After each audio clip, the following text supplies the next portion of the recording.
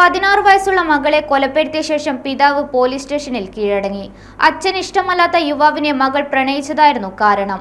വിശാഖപട്ടണത്താണ് സംഭവം നടന്നത്. എന്റെ മകൾ എന്നോട് എന്തൊക്കെ ആവശ്യപ്പെട്ടിട്ടുണ്ടോ അതെല്ലാം ഞാൻ നൽകിയിട്ടുണ്ട്. എന്റെ മകൾക്ക് നല്ല വിദ്യാഭ്യാസം വേണം. അവളുടെ ഇഷ്ടത്തിനാണ് ഞാൻ അവളെ ബോക്സിംഗ് പഠിപ്പിച്ചത്.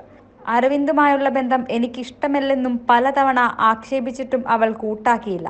അതിനാൽ എന്റെ അമ്മ മരിച്ച അതേ ദിവസം തന്നെ ഞാൻ അവളെ കൊന്നു. ആന്ധ്രാപ്രദേശിലെ വിശാഖപട്ടണത്തിലാണ് തനിക്ക് താല്പര്യമില്ലാത്ത യുവാവിനെ പ്രണയിച്ച പതിനാറ് വയസ്സ് മാത്രം പ്രായമുള്ള മകളെ കൊലപ്പെടുത്തിയ ശേഷം പിതാവ് വരപ്രസാദ് സാമൂഹ്യ മാധ്യമങ്ങളിൽ പോസ്റ്റ് ചെയ്ത സെൽഫി വീഡിയോയിലെ വാചകങ്ങളാണിത്. മകൾ നികിതശ്രീയുടെ മരണം ഉറപ്പാക്കിയ ശേഷം പോലീസ് സ്റ്റേഷനിലെത്തി വരപ്രസാദ് കീഴടങ്ങുകയായിരുന്നു.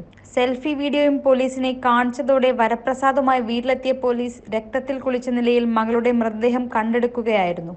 പ്രദേശവാസിയായ അരവിന്ദ് എന്ന യുവാവിനൊപ്പം പലതവണ മകൾ പുറത്തു പോകുന്നത് ശ്രദ്ധയിൽപ്പെട്ടെങ്കിലും വരപ്രസാദ് ഇത് വിലക്കിയിരുന്നു. പോലീസിലും പരാതിപ്പെട്ടിരുന്നു. കൗൺസിലിംഗും മറ്റും നൽകിയെങ്കിലും നികിത ബന്ധം തുടർന്നതോടെ കൊലപ്പെടുത്താൻ തീരുമാനിക്കുകയായിരുന്നുവെന്ന് ആംബുലൻസ് ഡ്രൈവറായ വരപ്രസാദ് പോലീസിനോട് നൽകിയ മൊഴിയിൽ പറയുന്നു. News desk Kannur one. അപ്പോ ഓണപ്പൂരം തുടങ്ങി മക്കളെ. ഓ മഹാ മഹാ ഓണം ഓ Maha Maha offer Maha Onam Maha offer sale on. Nikshan Electronics, Bank Road, Kannur.